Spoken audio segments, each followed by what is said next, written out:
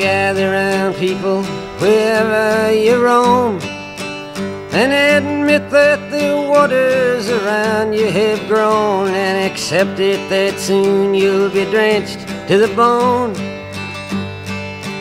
If your time to you is worth saving, then you better start swimming or you'll sink like a stone.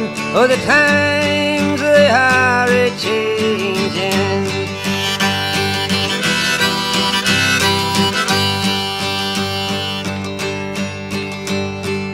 Writers and critics who prophesize with your pen.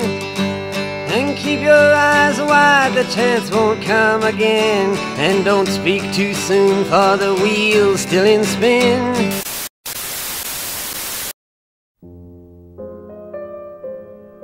La société DC Comics rachète plusieurs licences de personnages à Charlton Comics. L'écrivain Alan Moore est alors appelé par la société et réfléchit sur une histoire qui reprendrait des super-héros en désuétude. Il pense que les Mighty Crusaders, une équipe de super-héros fictive, conviennent parfaitement à son idée de projet. Cette histoire jetterait le lecteur dans une réalité bien plus sombre que celle des images publiques que se coltinent les super-héros. DC Comics refuse alors le droit d'utiliser ces nouveaux personnages à Moore, car certains doivent mourir au cours de son intrigue. Il prend alors la décision de créer ses propres figures super-héroïques, inspirées des Mighty Crusaders, comme le comédien, Dr Manhattan, Rorschach, le hibou, le spectre soyeux ou Ozymandias. Avant d'écrire Watchmen, Alan Moore perfectionne son style à travers des séries comme V pour Vendetta à partir de 1982 ou Swamp Thing au début de l'année 1983. Il déconstruit puis reconstruit entièrement les personnages, en écrivant des histoires à la forme plus expérimentale, qui délaissent parfois l'horreur et le fantastique, des histoires de Len Vane et Bernie Wrightson, les créateurs de la série, pour adopter un discours plus politique sur l'environnement. Le succès de la série, à la fois critique et commercial, de 17 000 à 100 000 exemplaires vendus depuis son arrivée, permet à Moore et les différents dessinateurs d'aller au bout de leurs idées, ce qui débouche sur un conflit avec la Comics Code Authority, aussi appelée CCA, chargée de garantir, grâce à un cachet d'approbation apposé sur la couverture, des comics sans contenu subversif. Des thématiques plus sombres telles que l'inceste ou la nécrophilie sont abordées et conduisent la CCA à refuser de donner son approbation à partir de l'épisode numéro 31. Swamp Thing devient donc le premier comics être publié sans le cachet de la CCA, remplacé par un bandeau portant la mention suspense sophistiqué. Après avoir perfectionné son style et pris en maturité, le scénariste s'attaque enfin à une œuvre qui établit définitivement sa réputation, Watchmen.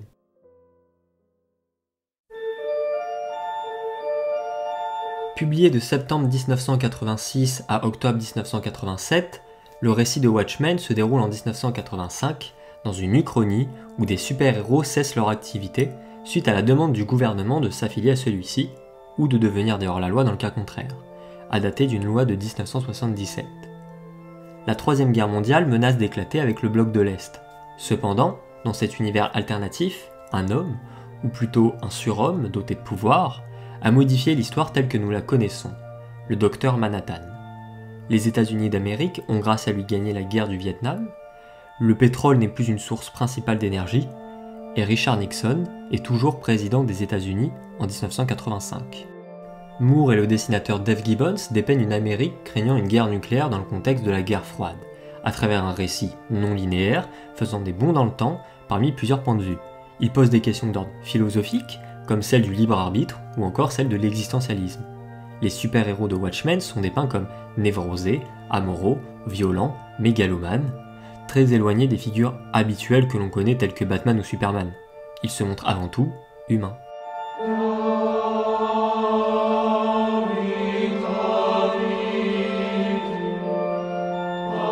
Eddie Blake, aussi connu sous le pseudonyme du comédien, est l'un des derniers membres vivants des Minutemen, qui est un groupe de super-héros des années 40. Il est le père caché de Laurie, alias le Spectre Soyeux 2, qui tenta de violer sa mère quelques années auparavant, le Spectre Soyeux premier du nom. Après la dissolution des Minutemen, Blake fut chargé d'opérations spéciales pour le gouvernement américain, où il participa à l'assassinat de Kennedy et à la guerre du Vietnam, accompagné du docteur Manhattan, où il abattit une femme enceinte de lui.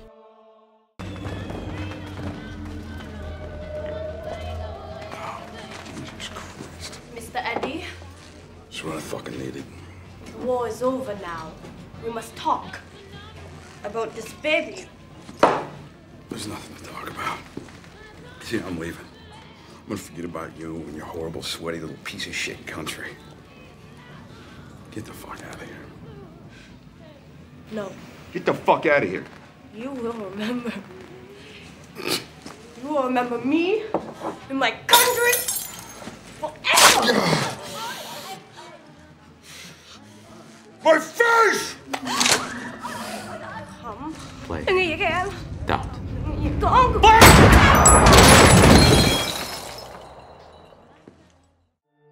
Jonathan Osterman est un scientifique. Il se retrouve bloqué par accident dans une pièce contenant une machine servant à tester la désintégration de la matière. Il est alors désintégré, mais se reconstitue petit à petit avant de réapparaître. Devenu quasi omnipotent, omniscient et immortel, il est engagé par le gouvernement américain comme super-héros, scientifique et arme de dissuasion vivante sous le nom de Dr Manhattan. Il est le seul super-héros de Watchmen à avoir des pouvoirs.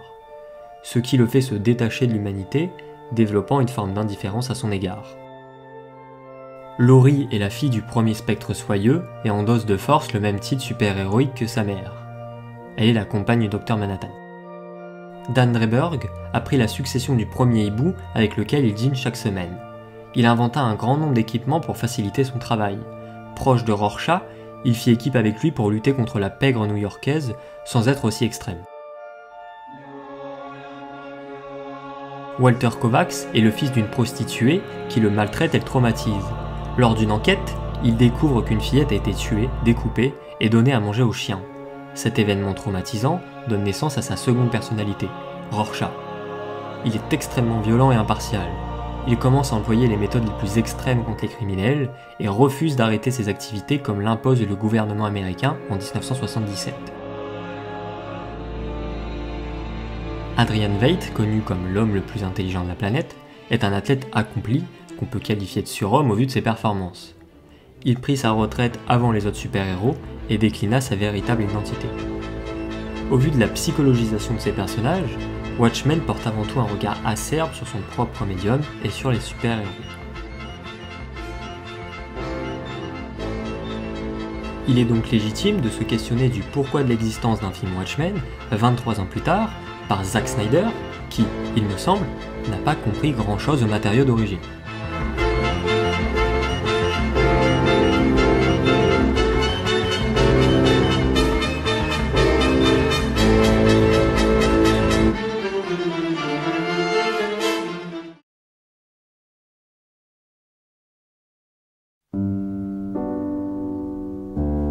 Watchmen est donc l'adaptation de la série de comic book éponyme réalisée par Zack Snyder, qui est réalisé par la suite d'autres films de super-héros comme Man of Steel en 2013, Batman v Superman en 2016 et sa version de Justice League en 2021. Watchmen n'est cependant pas sa première adaptation de bande dessinée. En 2006, il a réalisé 300 qui est une adaptation du célèbre comic book de Frank Miller. À l'heure où j'enregistre cette vidéo, Zack Snyder a donc réalisé 8 longs métrages, alors, petite erreur de ma part, j'ai oublié son dernier film, Army of the Dead, ça fait donc 9 et non 8 films, dont 5 directement inspirés de l'univers du comics, et un dernier qu'on pourrait agrafer au vu de la promiscuité qu'il entretient avec ce dernier, et aussi avec le jeu vidéo. Je parle évidemment de Sucker Punch, avec ses héroïnes hyper sexualisées combattant des forces maléfiques. Snyder s'est donc spécialisé dans l'adaptation de comics au cinéma, et cela se traduit par un gimmick présent dès son second film, les ralentis. Le ralenti, ou slow motion, chez Snyder permet à la fois d'iconiser ses personnages et de retranscrire des cases de bande dessinée à l'écran. Le réalisateur affectionne beaucoup les monologues intérieurs qui peuvent rappeler ceux des comics de super-héros. Le style Snyder, en dehors de son aversion pour les couleurs vives, semble donc parfait pour adapter des histoires de super-héros au cinéma, en tout cas à première vue. Mais en quoi adopter les codes et les spécificités de la bande dessinée serait une qualité esthétique au sein d'un film? On peut retranscrire à l'écran par divers moyens, comme l'arrêt sur image ou le ralenti des cases de BD. Mais qu'est-ce que ça me dit sur le film, un personnage ou une situation donnée? En particulier quand on répète ce choix durant tout le film. Après tout, euh, c'est une affaire de style et d'esthétique, certains diront. Et je répondrai à ça que justement, l'esthétique de Snyder est une esthétique du creux.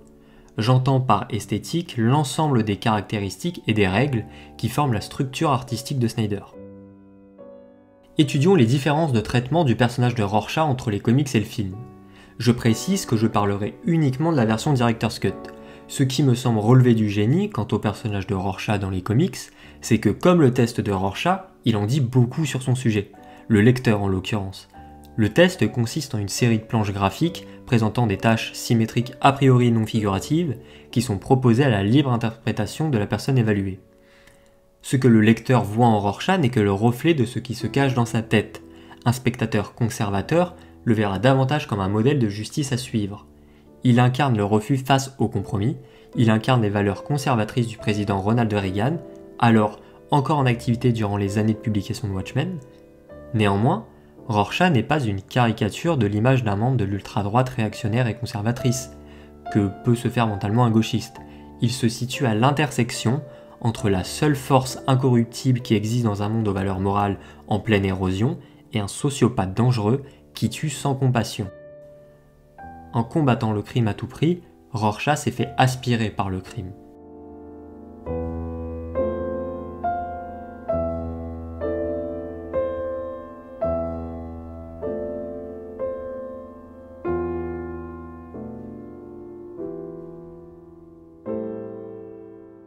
Le film de Snyder, le personnage est sans cesse iconisé, retirant toute la subtilité et l'essence du personnage. La mort de Rorschach est selon moi le meilleur choix pour illustrer mon propos. Dans l'œuvre de Moore et Gibbons, la mort du justicier tient en un bref échange entre lui et le docteur Manhattan, tandis que son ami le hibou couche avec le spectre soyeux pour fêter le fait d'être en vie. Sa mort est expéditive. Après tout, qu'est-ce que ça change un mort après les millions de personnes ayant perdu la vie à New York? Dans le film, la scène semble s'éterniser davantage. Rorschach se permet même le luxe de tacler son coéquipier en lui soulignant le fait que lui a eu jusqu'au bout de ses convictions. Keep your own secrets.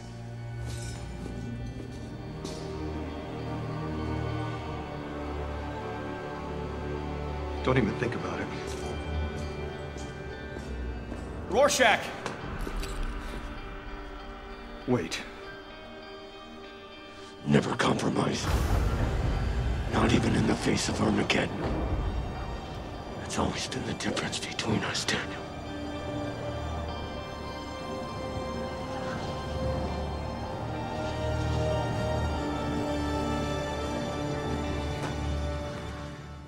Alors le hibou le suit et assiste à sa mort, ce qui accentue le drame de l'événement, avant de conclure sur un plan des traces de sang laissées dans la neige, dues à l'explosion de Rorschach.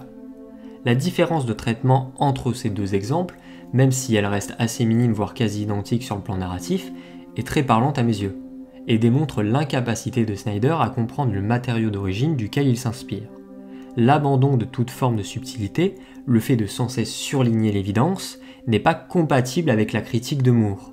Et tant qu'on est sur la fin du film, on pourrait aussi parler du virage narratif qu'a choisi de prendre Snyder, qui n'a pas fait le choix de l'adaptation fidèle en refusant de faire apparaître un poulpe alien au milieu de New York, comme dans la bande dessinée, mais plutôt de faire exploser une partie de la ville en simulant la signature énergétique du docteur Manhattan par Ozymandias, dans le but d'éviter une troisième guerre mondiale et de rallier les nations entre elles par la peur d'une menace bien connue.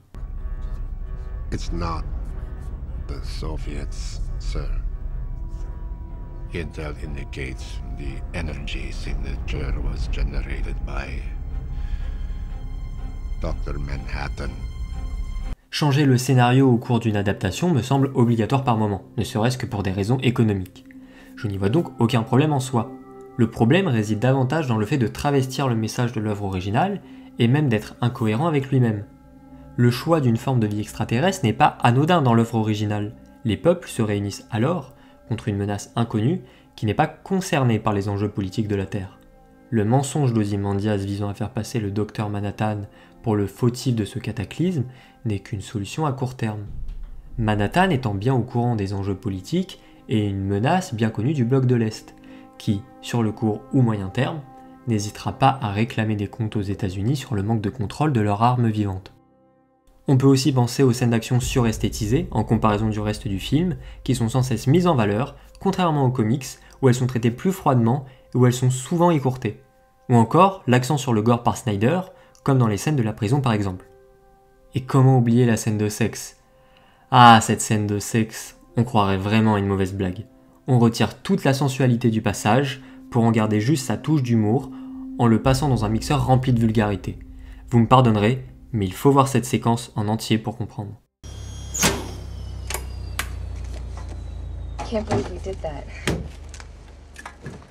Probably lock us up with Rorschach.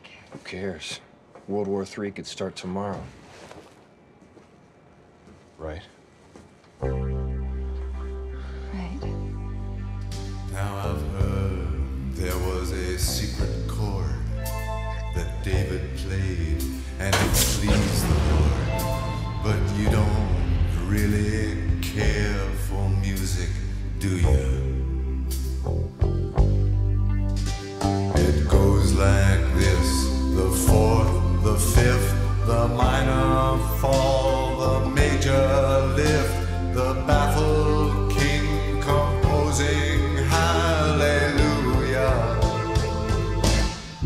priori je ne peux pas montrer cet extrait en entier, YouTube juge que cela ne respecte pas leurs règles et conditions d'utilisation, tout ça pour un déton à peine visible dans l'ombre et un sillon interfécié pour le dire ainsi, sans affoler le bot YouTube. Mais pour ceux qui ont vu le film, j'imagine qu'ils se souviennent de ce passage. Désolé. Watchmen est une œuvre dense qui comprend les codes de son genre et de son médium pour mieux les questionner avec subtilité. Tout ce que ne fait pas le film de Snyder, qui se contente d'être une adaptation sans âme, une copie vulgaire, je dirais même adolescente, trahissant l'œuvre de laquelle il s'inspire. Snyder est un cinéaste du cool, qui s'inscrit parfaitement dans l'esprit de son temps, mais qui ne comprend nullement les récits qu'il adapte, que ce soit les récits super-héroïques ou bibliques. Ce n'est pas un problème de ne pas suivre fidèlement une œuvre pour l'adapter, certains le font très bien. Le travail d'adaptation demande de faire des choix parfois compliqués, il peut même demander de trahir l'essence de celle-ci, mais je suis ouvert à toute proposition si c'est dans l'optique de proposer une œuvre cohérente avec une proposition esthétique forte et singulière. Malheureusement, ce n'est pas le cas ici selon moi. Je vous invite grandement à lire Watchmen d'Alan Moore et Dave Gibbons, qui est un mastodonte de la bande dessinée américaine et de la bande dessinée tout court. Une œuvre infiniment plus élaborée, plus juste et marquante que le film de Snyder. Même si vous n'êtes pas d'accord avec moi et si vous appréciez ce genre de contenu, n'hésitez pas à mettre un like, à vous abonner à la chaîne, à me suivre sur Twitter, un lien est en description, ainsi que pour le Tipeee. Merci de votre attention et à la prochaine.